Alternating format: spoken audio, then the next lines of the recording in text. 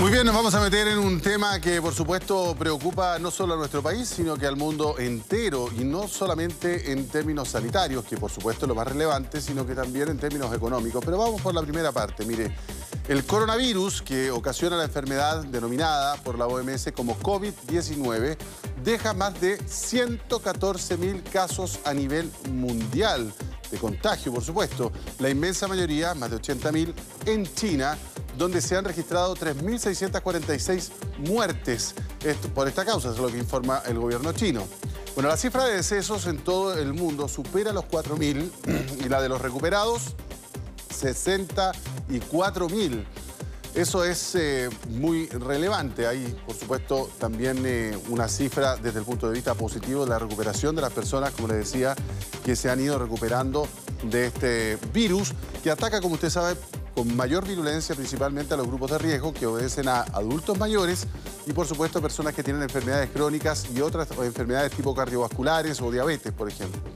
Bueno, fuera de China se han confirmado casos en más de 100 países. Se han registrado muertes en China, Italia, Irán, Corea del Sur, Francia, Estados Unidos, el Reino Unido, España y también en Argentina. En nuestro país ya son 17 las personas que tienen este virus, algo que vamos a profundizar en algunos momentos más. Pero mire, uno de los países que se tiene, que tiene el panorama más complejo en este momento es sin duda Italia, número dos en la cantidad de casos y muertes. Recordemos que el lunes el gobierno de ese país le había pedido a todos los italianos evitar desplazamientos en el territorio. Además prohibió reuniones públicas y dispuso que los centros educativos permanezcan cerrados hasta el próximo 3 de abril. Todo esto con la intención de frenar la epidemia del nuevo coronavirus que en Italia, como hemos visto, está bastante descontrolado. Ya le decía, Italia es el segundo país más afectado por la epidemia de COVID-19 después de China, donde surgió este nuevo coronavirus en diciembre pasado, como usted recordará.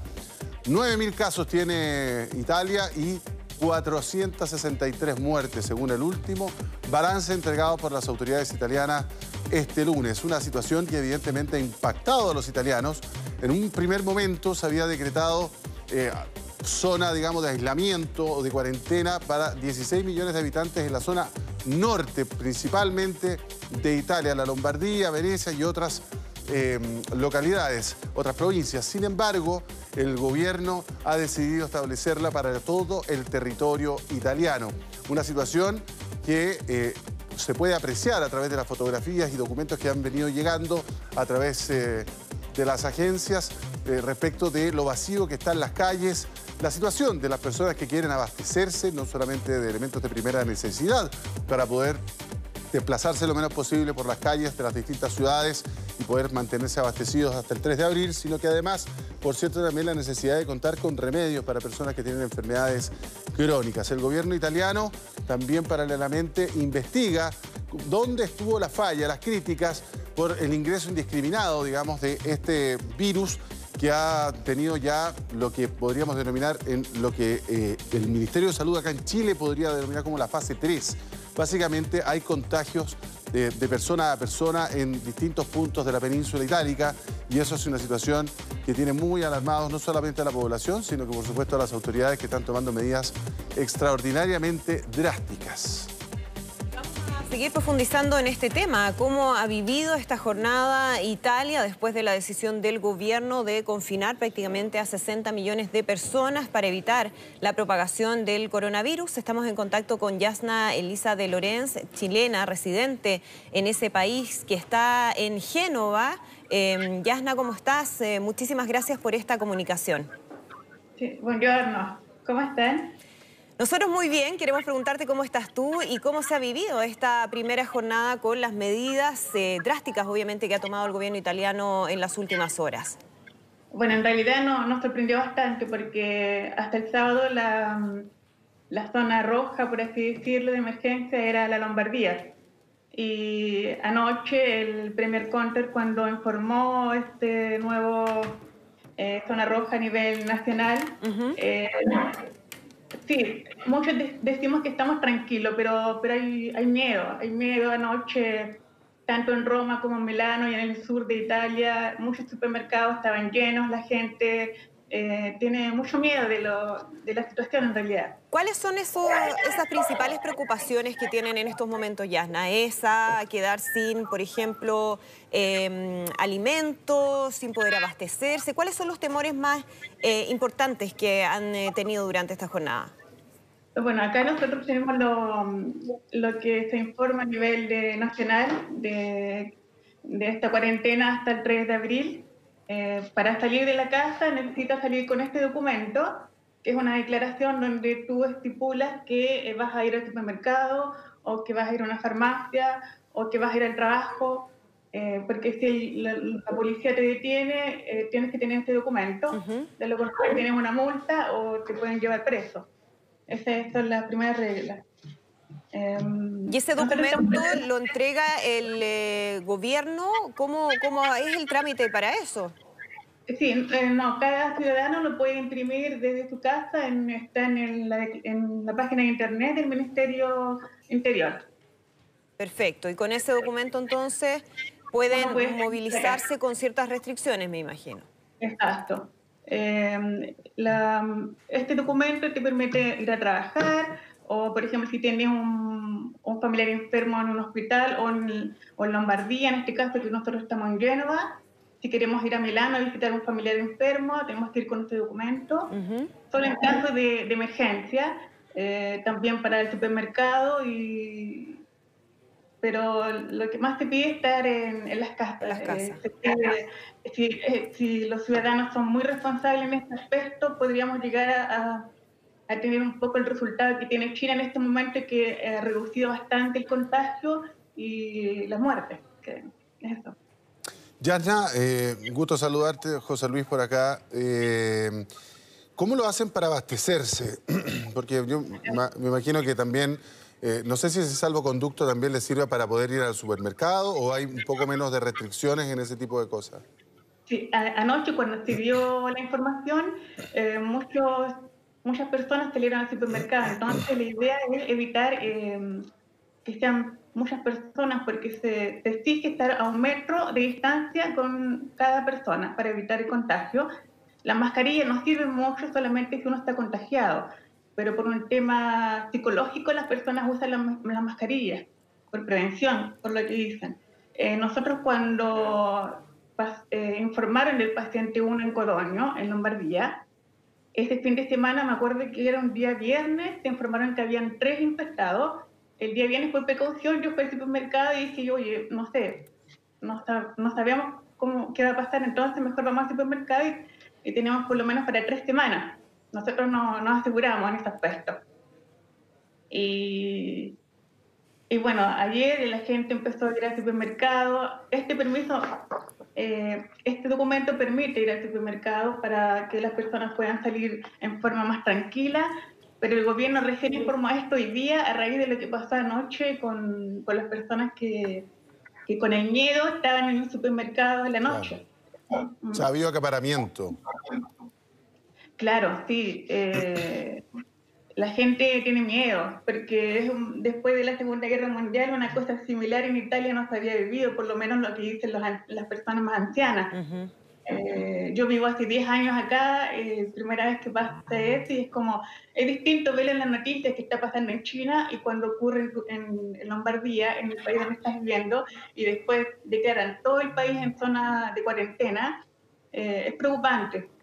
Eh, Exacto. y esperemos que, esto no, bueno, esto sirve para unir mucho más al país, para ser mucho más responsables, sobre todo los jóvenes, que se piden no salir en, eh, en discotecas, en fiestas. Las universidades y los colegios están cerrados hasta el 3 de abril eh, se están cerrando los pubs, los cines, los Y en general, Yasna, eh, la gente ha sido responsable, efectivamente la gente está cumpliendo con la medida.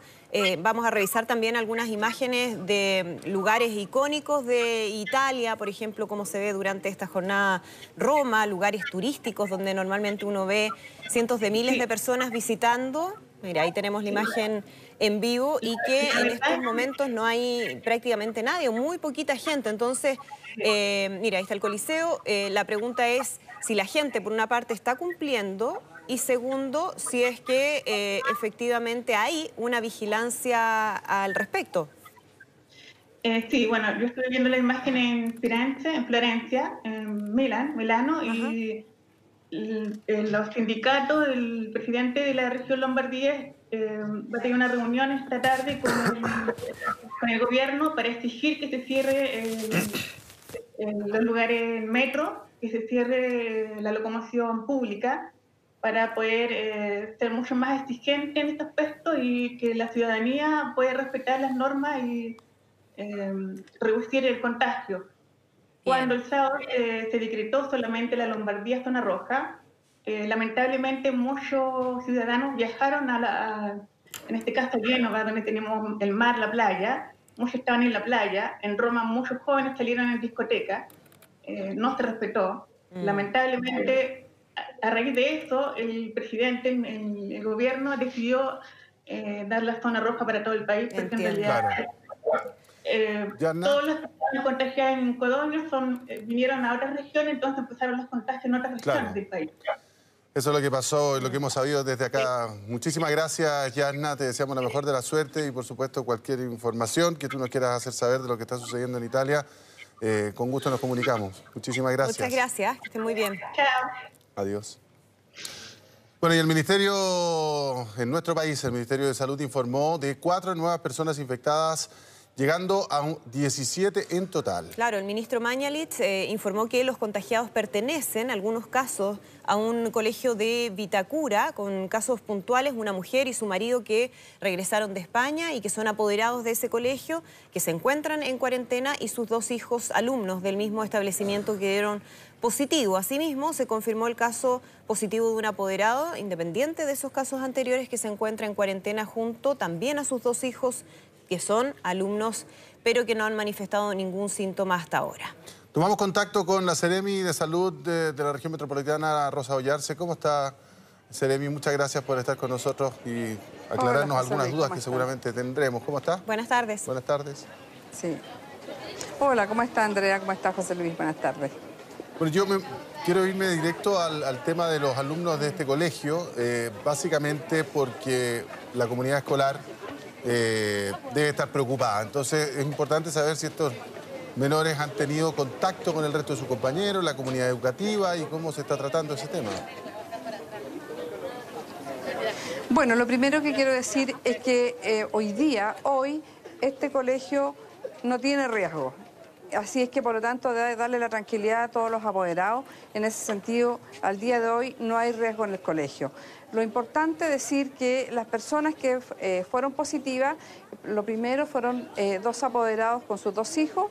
Esas cuatro personas fueron positivas. Eh, inmediatamente ellos asumieron la cuarentena en sus casas y nunca vinieron al colegio después que volvieron de sus vacaciones.